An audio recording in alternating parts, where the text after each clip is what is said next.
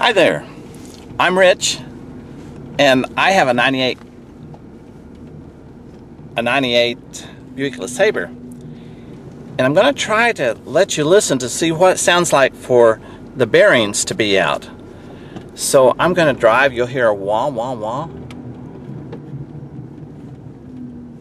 I'm going to try to turn up the volume. When you turn, it might be a little louder one way than it would be turning another way. This is my right front bearing on the my wheel bearing.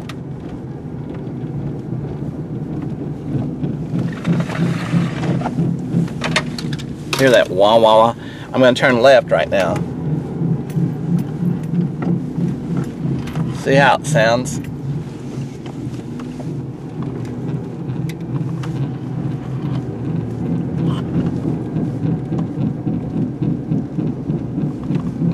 Turning right. I don't know if this will make a difference. I'm going to put it up here. Maybe I'll feel vibrations.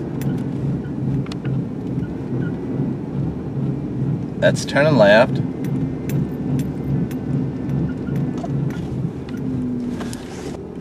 As you go faster, the wah wah wah sounds, well, I guess you might say a faster, high, higher humming because those bearings are sort of, I guess, really making a lot of noise.